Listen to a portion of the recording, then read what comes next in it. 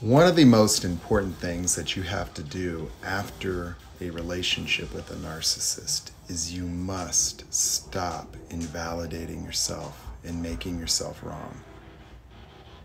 When you think that this has something to do with you being foolish, naive, or stupid, these types of self devaluations were also at the foundation of what kept you in the relationship and are also what make you predisposed to these relationships in general. It is the internalization of blame, fault, guilt that holds these relationships together, obscuring the behavior of the other person. Understanding that after the fact and then perpetuating those same notions is a process of devaluation, and that same devaluation is what obscured the abuse to begin with.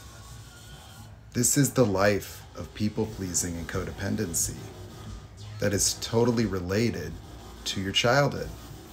These are survival strategies which actually give us hope.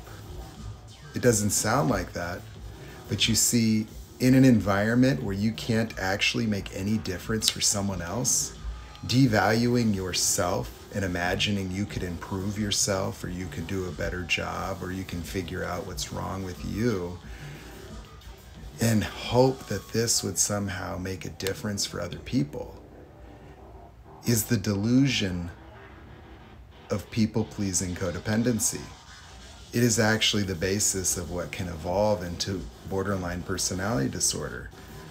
Because self devaluation runs in parallel with the idealization of a narcissist.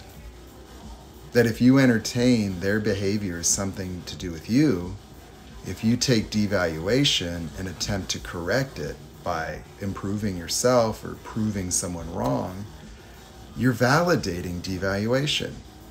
There is no accountability or boundaries because you assume responsibility for the behavior, the welfare, the emotional states of other people. That people pleasers are compelled to try to help and fix others.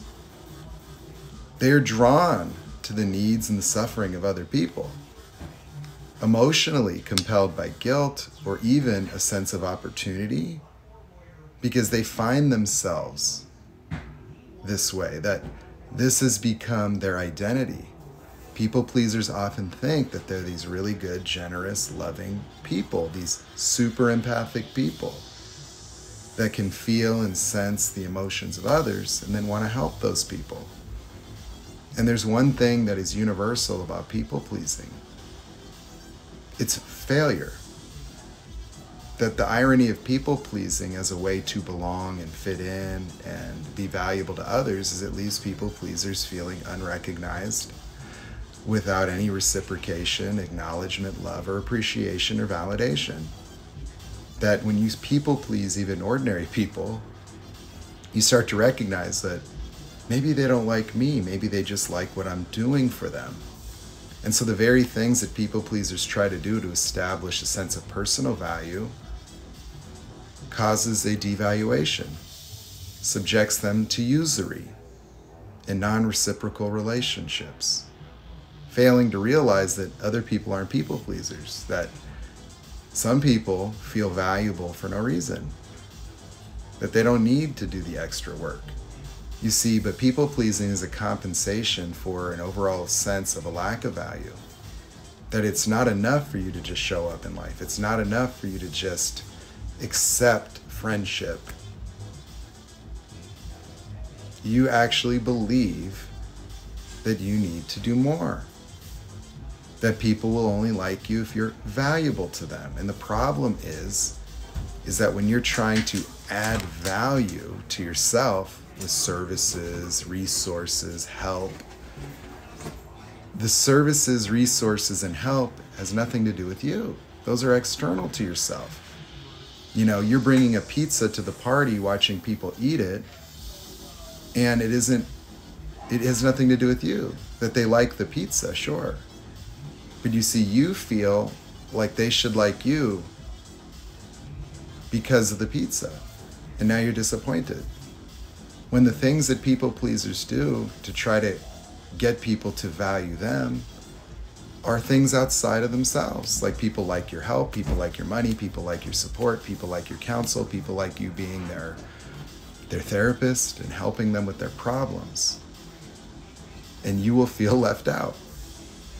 Because you see, there's nothing you can do outside of yourself that fixes a devalued self.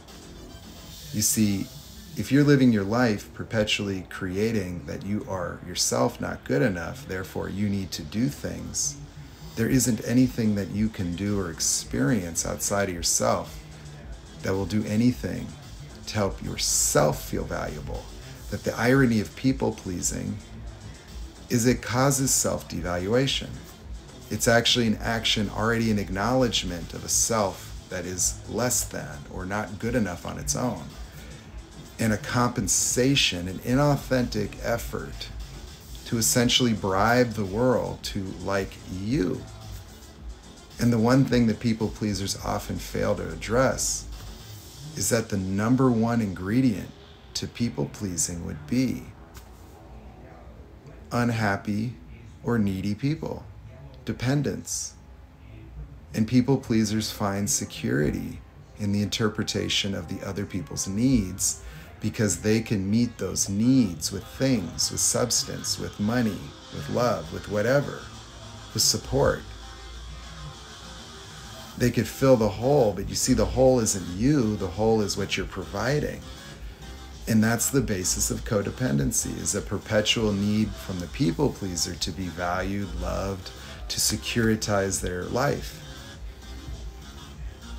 And the irony is, is that the things that people pleasers do in this effort only leads to devaluation, only leads to a lack of reciprocation, only confirms and reaffirms these notions of one's own deficiencies or inadequacies. It's as if what the people pleaser has done has cut off their own ability to experience love they don't feel it because they're devalued, because they don't feel good enough for it, unless they do something to deserve it. And when they do something, people like that something. And it leaves the people pleaser feeling devalued, unappreciated, unrecognized. And then suddenly, that, de- that people pleaser who lives a life where there isn't love around them, where there isn't value, where there isn't reciprocation, they're like somebody in the desert that's been stranded for five days with no water. How valuable does water become if I were to show up to a person whose car was broken down, stranded on some remote roadway in a desert, and they were dehydrated, and I had a gallon of water that was ice cold, and I could tell them, you know what, I'll drive you to your hotel how much would they pay me? What would they give in that moment on the edge of death? Would they give me their car? Would they give me their wallet? Would they give me everything in their bank account and be grateful? Probably. And I take that same person, and when they get home and they rehydrate, and they've got a water water stocked in the refrigerator, total abundance. How much value does that gallon have now? 99 cents.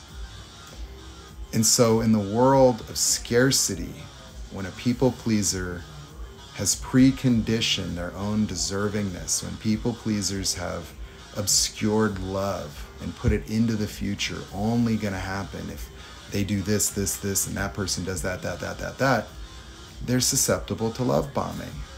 They need an extraordinary experience in order to correct all these perceived deficiencies and make them feel so accepted and wanted that they could finally open up and allow love to be experienced within themselves and imagine it came from outside of themselves when it's really actually as abundant as the water in someone's refrigerator, something you could feel on a day to day basis if you stop the people pleasing.